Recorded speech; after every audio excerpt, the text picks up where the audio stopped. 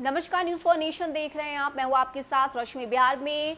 पाँच सीटों पर राज्यसभा का चुनाव होना है, लेकिन इस चुनाव की अगर हम बात करें तो उसको लेकर बिहार की सियासत पूरी तरह से गरमाई हुई है। खास करके हर कोई ये जानना चाहता है कि क्या इस बार दोबारा से आरसीपी सिंह को मुख्यमंत्री नीतीश कुमार राज्यसभा भेजेंगे? और यही वजह है कि इस सवाल पर संशय बरकरार है। लेकिन इस बीच ताज़ा तस्वीर सामने आई है, जहाँ पर मुख्यमंत्री नीतीश कुमार और आरसीपी सिंह की मुलाकात हुई है, लेकिन ये मुलाकात बेहद दिलचस्प है। दिलचस्प आखिर क्यों है, ये हमको, हम आपको आगे बताएँगे, लेकिन इस वक्त बात करें तो ये एक्सक्लूसिव तस्वीरें हमारे पास आई है, जिसमें सीएम नीतीश कुमार और आरसीपी सिंह की मुलाकात हो रही है। तस्वीरों में आप देख सकते हैं कि किस तरह से सीएम नीतीश कुमार और आरसीपी सिंह मिल रहे हैं। लेकिन इस तस्वीर की अगर हम बात करें तो इसकी डिटेल्स हम आपको आगे देंगे, लेकिन इस वक्त बिहार में राज्यसभा चुनाव को लेकर जेडीयू में उम्मीदवार के चयन पर मंथन जारी है।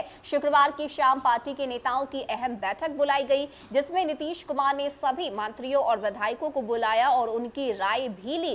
सभी मंत्री और विधायकों ने उम्मीदवार के चयन के लिए मुख्यमंत्री नीतीश कुमार को अधिकृत कर दिया। इसके बाद शाम के हुई बैठक के बाद एक शादी समारोह में मुख्यमंत्री नीतीश कुमार और केंद्रीय मंत्री आरसीपी सिंह की मुलाकात हुई। माना जा रहा था कि दोनों नेताओं के बीच राज्यसभा के उम्मीदवार के मसले पर बातचीत हो सकती है, लेकिन इनकी मुलाकात के बाद जो तस्वीर सामने आई है, वो अपने आप में ही बहुत कुछ बयां करने के लिए काफ़ी है। शादी समारोह में मौजूद लोग भी यह बात कह रहे हैं कि नीतीश कुमार और आरसीपी सिंह के बीच में बहुत ज़्यादा बातचीत नहीं हुई है। जेडीयू के सूत्र बताते हैं कि पिछले कई दिनों से मुख्यमंत्री नीतीश कुमार और आरसीपी सिंह की मुलाकात नहीं हुई है और अभी भी यह संशय बरकरार है कि आरसीपी सिंह को तीसरी बार राज्यसभा का उम्मीदवार बनाया जाएगा या नहीं। खबर तो ये भी है कि जेडीयू का एक बड़ा धड़ा यह चाहता है कि आरसीपी सिंह को राज्यसभा का उम्मीदवार नहीं बनाया जाए, बल्कि उनकी जगह पर पार्टी की ओर से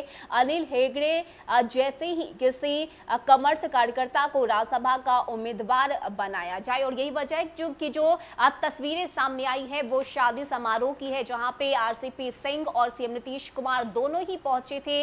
लेकिन इन दोनों के बीच ना तो किसी भी तरह की कोई बातचीत हुई और ना ही सही से इन दोनों की मुलाकात ही हो पाई। जेडीयू के सूत्रों की अगर हम माने तो पहले तो ये चर्चा हो रही थी कि शायद सीएम नीतीश कुमार आरसीपी सिंह से राज्यसभा चुनाव को लेकर मंथन कर सकते हैं, बातचीत कर सकते हैं, लेकिन इन दोनों के बीच कोई बातचीत नहीं हुई है। यानी कि ये कहना बिल्कुल भी गलत नहीं होगा कि इस बीच इस वक्त जो है आरसीपी सिंह और मुख्यमंत्री नीतीश कुमार के बीच की जो दूरियाँ हैं, वो इन तस्वीरों से ही ज़ाहिर हो रही है। ऐसे में आगे कैंडिडेट का चुनाव किस तरह से मुख्यमंत्री नीतीश कुमार की तरफ़ से किया जाता है और खास करके क्या फैसला आरसीपी सिंह को लेकर सीएम नीतीश कुमार लेते हैं, ये देखना बेहद महत्वपूर्ण होगा। लेकिन फ़िलहाल ये तस्वीरें अपने आप में ही बहुत कुछ बयां कर रही है कि आखिर इस वक्त सीएम नीतीश कुमार और आरसीपी सिंह के बीच के रिश्ते कैसे हैं।